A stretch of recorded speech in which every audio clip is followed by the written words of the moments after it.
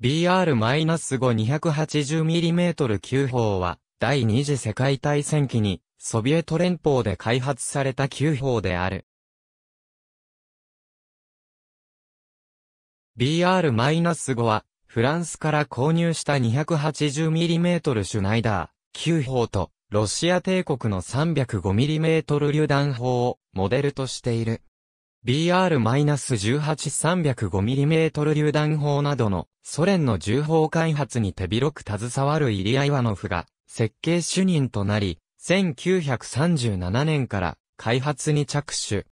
1939年6月頃に完成し、1939年内に20門、1940年に25門程度が生産された。砲画及び、洋画は BR-252mm カノン砲及び B-4203mm 榴弾砲と共通のもので、車輪ではなく、装機式になっているが、動力は内蔵しておらず、自走することはできない。移動の際には、砲画ビブに一軸二輪の車輪を備えた砲車を装着し、砲牽引車による牽引を行う。この場合には、時速 15km で移動が可能だった。長距離を移動させる際には、砲身と砲画を分割し、専用の砲車にて輸送された。冬戦争におけるマンネルハイム戦への攻撃や、1945年のケーニヒスベルクの戦いなどに運用された記録があり、バリケードや建造物の破壊が主な任務であった。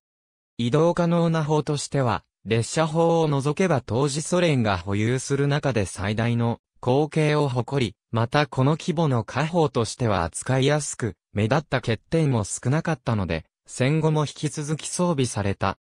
第二次大戦後の1955年には、独立した車輪化を片側2組、計4輪の大口径車輪を備える方式に改良され、BR-5M280mm 級砲として1970年代まで現役であった。